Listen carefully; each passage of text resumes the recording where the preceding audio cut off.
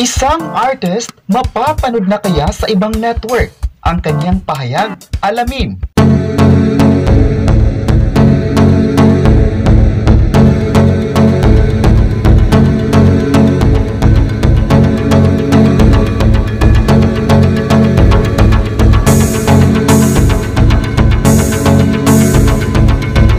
May lumulutang na balitang isang morning show na pangungunahan ni Tony Gonzaga, Rufa Gutierrez at Sara Labati ang kinukonsepto ng All TV na mapapanood na sa 2023. Isa raw ito sa mga programang pinaghahandaan sa network na pag-aari ni Manny Villar. Humarap sa press si Sara para sa isang event. Dito, natanong ang aktres ukol sa sinasabing proyekto nila ni Tony at Rufa at nasabi niyang bukas siyang makatrabaho sina Tony at Rufa.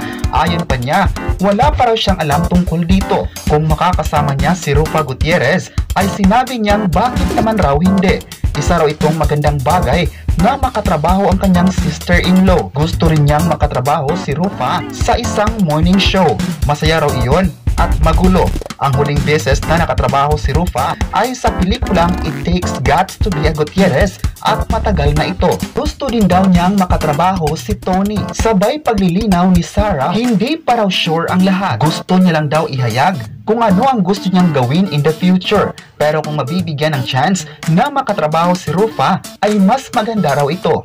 Wala raw siyang kinukumpirmang may ganoon ngang proyekto. Inihayag din ng aktres na noon pa man na inalok siyang gumawa ng proyekto na hihirapan siya sa lock-in taping at gusto niyang makasama muna ang kanyang anak. Pero kung morning show ay mas maganda ito. Tinanong rin si Sarah kung handa na ba siyang magbalik trabaho matapos ang pagpapahinga sa showbiz nitong pandemya. Sagot niya, work is work raw. Alam niya kung paano dalhin ang work mood at kanyang business.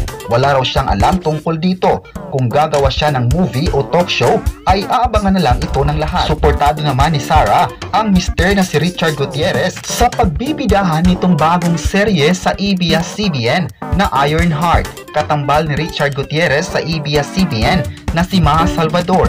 Ayon kay Sarah, si Richard ay bumalik na ng Cebu para magsimulang mag-taping sa pinakabagong show.